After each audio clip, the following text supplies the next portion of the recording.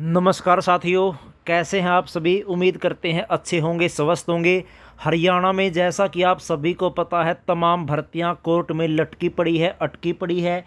चाहे बात कर लीजिए टीजीटी चौहत्तर सौ इकहत्तर की, बात कर लीजिए आप सीटी ग्रुप सी की बत्तीस हज़ार पोस्टों की, या फिर बात कर लीजिए ग्रुप डी की लगभग तेरह हज़ार पाँच सौ छत्तीस पोस्टों की, कोई भी जो भर्ती है वो नहीं हो रही, क्योंकि तमाम भर्ती जो है कोर्ट में लटकी पड़ी है और तारीख पे तारीख मिल रही है।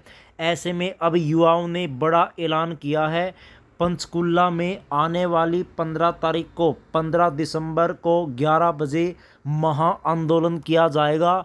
एक भर्ती के लिए नहीं, बल्कि तमाम जो भर्तियाँ हैं, चाहे वो ग्रुप बी की हो, ग्रुप सी की हो या ग्रुप डी की हो, सभी भर्तियों के जो कैंडिडेट हैं, प्रार्थी है, वो इस महा आंदोलन में भाग लेंगे और सरकार को चेतावनी देंगे कि अगर आपने समय रहते ये जो भर्तियाँ हैं वो नहीं की तो इसका जो खामियाजा है आपको भुगतना पड़ सकता है।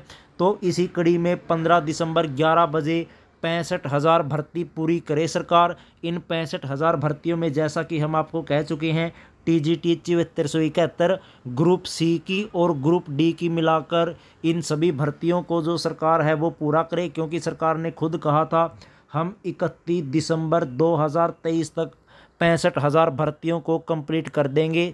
और इसी कड़ी में अब जो कैंडिडेट है, वो इस महा आंदोलन में भाग लेंगे। सी टी साढ़े पैंतालीस हज़ार ग्रुप सी और डी की टी जी टी चौहत्तर सौ इकहत्तर।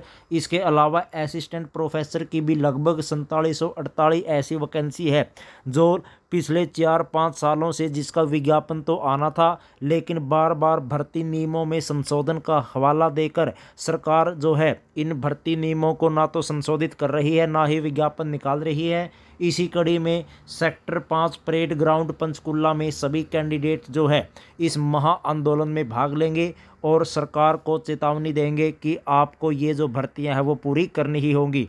तो दोस्तों, अगर आप भी कैंडिडेट हैं, चाहे ग्रुप सी के हो, ग्रुप डी के हो टीजीटी के हो या असिस्टेंट प्रोफेसर के हो तो आपको अपने इस अधिकारों की लड़ाई में भाग लेना पड़ेगा, क्योंकि ये आपकी अपनी लड़ाई होगी, आपको खुद ही लड़नी पड़ेगी।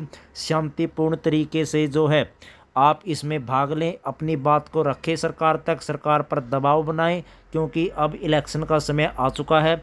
ऐसे में सरकार के पास भी ज़्यादा समय नहीं है। सरकार खुद कह चुकी है, हरियाणा के सीएम मनोहर लाल खट्टर, अगर हाईकमान से मंजूरी मिली केंद्रीय मंत्रिमंडल से तो हम हो सकता है विधानसभा के इलेक्शन लोकसभा के साथ करवा लें।